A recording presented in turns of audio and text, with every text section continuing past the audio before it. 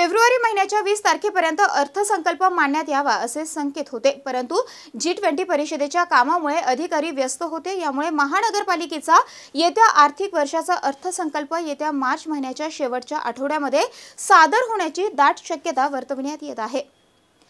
गेल्या काही वर्षात महानगरपालिकेचे बजेट सुमारे दीड ते दोन हजार सातशे कोटी पर्यंतचे राहिलेले आहे. प्रशासनाने सादर केलेल्या अर्थसंकल्पीय अंदाजपत्रकात स्थायी समिती आणि नंतर सर्वसाधारण सभेत वाढ केली जाते.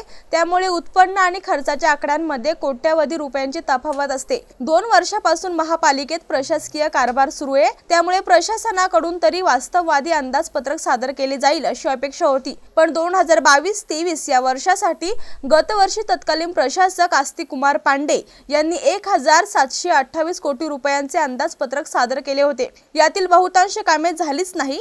प्रत्येक वर्षासाठी ते स्थानिक स्वराज्य संस्थेचे बजेट वीस फेब्रुवारी पर्यंत सादर करण्यात यावे असे संकेत होते. पण महानगरपालिकेच्या बजेटसाठी मार्च महिनाच उजाडतो. गत वर्षी एकतीस मार्चला बजेट सादर करण्यात आले होते. यंदाही अधिकारी कर्मचारी जी ट्वेंटीच्या कामात व्यस्त होते. यामुळे मार्च महिन्यातील शेवटी बजेट सादर होण्याची शक्यता आहे.